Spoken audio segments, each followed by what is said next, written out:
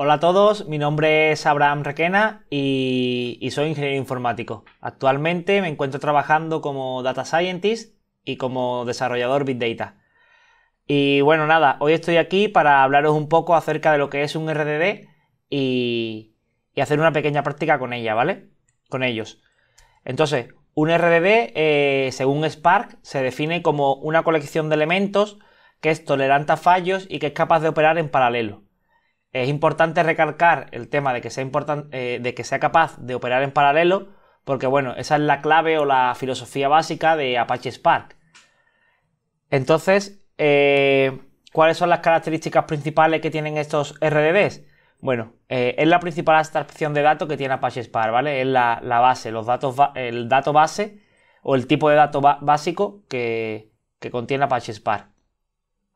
Luego, eh, cabe destacar que están particionados los distintos nodos del clúster, porque claro, tenemos que tener en cuenta que cuando tú instalas Apache Spark, lo, sueles hacer en un clúster de máquinas, en un conjunto de máquinas, por lo cual esos RDD se encuentran distribuidos sobre esas máquinas y por ello, se, eh, por ello em, implementa o consigue la tolerancia a fallos, ¿de acuerdo? Porque si falla una máquina, pues bueno, tenemos el, fichero en otras máquinas. Eh, se suelen crear a partir de, un fichero del HDFS, que es el sistema de ficheros distribuido de, Hadoop. Y también es importante recalcar que usan la evaluación perezosa. Que la evaluación perezosa no es más de que eh, no, todas las transformaciones que vayamos haciendo a los RDD se van a ir almacenando en un grafo, en un DAG, un grafo acíclico dirigido, y no se van a resolver hasta que no, que no quede más remedio, ¿vale? Hasta que la herramienta eh, esté obligada a realizar esas transformaciones. Bueno, eso es lo que, lo que os comentaba. Eh, este, esta evaluación perezosa tiene dos, tiene dos problemas. Bueno, tiene una ventaja y un inconveniente. La ventaja es que ganamos tiempo y el inconveniente es que si falla no lo vamos a ver hasta, hasta, que, se, hasta que se resuelva el grafo completo, ¿vale?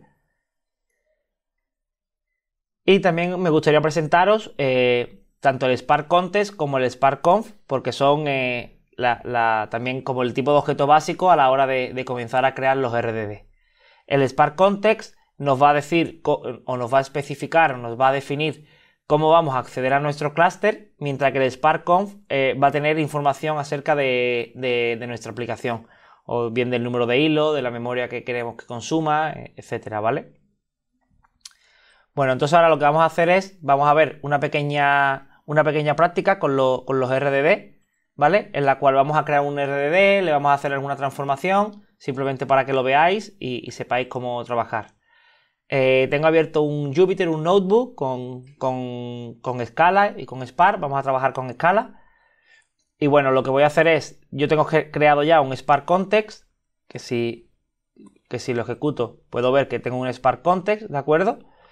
Y bien, me voy a crear directamente un RDD. Para ello me voy a crear una variable, que la voy a llamar cadenas, por ejemplo, y voy a crear un array con distintas palabras. Por ejemplo, Open Webinars, eh, eh, otra vez Open Webinars. Y bueno, eh, nada más. Y ahora para convertir este array en un RDD me voy a apoyar en el objeto de Spark Contest, ¿vale? Y voy a decir que mi val cadenas rdd va a ser Spark Context punto parallelize eh, mi array de cadenas. ¿De acuerdo? Entonces, si yo ejecuto esto, tendré, tendré generado un cadenas RDD de tipo string. ¿De acuerdo? ¿Cómo lo puedo ver? Bueno, pues para poder ver su contenido, le puedo hacer un cadenasrdd.collect y estaría mostrando su contenido. Pero claro, como os he comentado, eh, no siempre se crean los RDD de esta manera. Lo, ideal o lo que se hace normalmente es crearlo a partir de un fichero. Entonces, ¿cómo podemos crearlo a partir de un fichero? Bueno, si yo me digo, por ejemplo, una variable, la voy a llamar file, y le voy a decir scc sc de sparkcontext.textfile y le digo la ruta donde tenga ese fichero. Por ejemplo, en el home vmuser texto rdd. Y ahora aquí le voy a dar un parámetro que es en las particiones que quiero, el número. Por ejemplo, le digo en 6 particiones y esto me crea un RDD de tipo string de nuevo con el contenido de este fichero. Si le vuelvo a hacer un collect, podré volver a ver el contenido que, tenía ese fichero. Bueno, pues aquí OpenWebinar es una plataforma de cursos. En esta plataforma podemos encontrar multitud de cursos, etc. Esto ya, al ser un RDD, ya se encontrará distribuido y ya podré hacer eh, cualquier tipo de operaciones con ello, ¿de acuerdo? Y eh, os voy a enseñar una cosilla más, que sería eh, cómo aplicar un filtro. Yo puedo aplicar un filtro a un RDD. Sería, por ejemplo, val filtro. Sería mi RDD, cadenas RDD. Punto filter. Y aquí le añado una función, que sería para cada línea, le voy a decir que la línea contenga la palabra Open Webinars y que me muestre ese filtro. En este caso, solo me va a aparecer las dos palabras Open Webinars y no me aparece la palabra Big Data que tenía por aquí. Y ya para finalizar, os quiero mostrar cómo funciona el tema de la evaluación perezosa, ¿de acuerdo?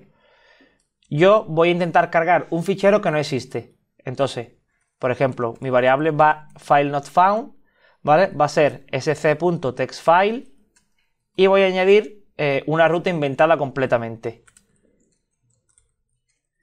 es completamente inventada. Si yo lanzo esto, le voy a decir que me lo divida en seis partes. Él directamente ha almacenado en, el grafo dirigido eh, esa instrucción y no me ha dado ningún tipo de error.